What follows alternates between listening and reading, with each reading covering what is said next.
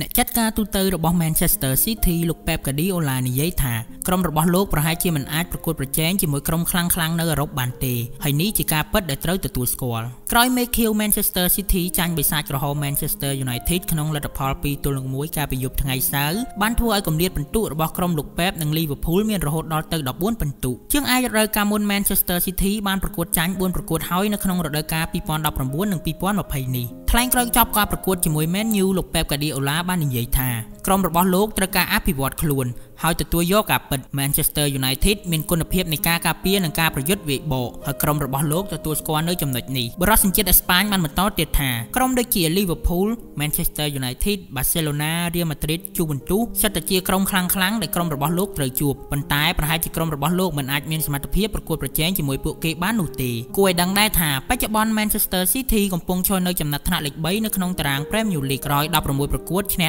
10ស្មើ2និងចាញ់4មាន32ពិន្ទុនៅពីក្រោយ Liverpool ដែលកំពុងឈរនៅកំពូលតារាងដល់ទៅ14ពិន្ទុ